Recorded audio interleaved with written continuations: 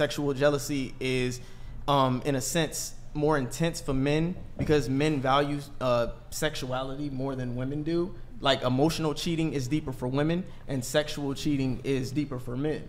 So it's harder for a man to overcome sexual infidelity than it is for a woman to overcome uh, sexual infidelity, and it's also more difficult for a woman to overcome emotional infidelity than it is for her to overcome sexual infidelity because they place two different values on those things, two different weighted values. So emotional infidelity means more to women because, as I said, emotions is how men demonstrate, you know, allocating resources, investing in resources. So if a woman, if a man is cheating emotionally, then to that woman that means he's giving that woman other things that he normally gives her, which means he really likes her. Whereas a woman if she's cheating, then that means she has the uh, possibility of conceiving that man's child and him um, fathering a child that's not his.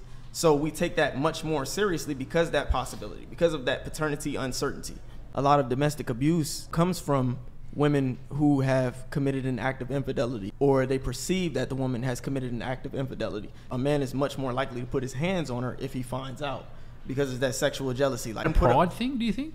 Like, does it just hit the pride, or does it is it more of a it's built into your DNA that it's oh. both. I say the pride stems from what's built into your DNA. Okay. Yep. I, I think that's a very concise way to finish off what you're saying.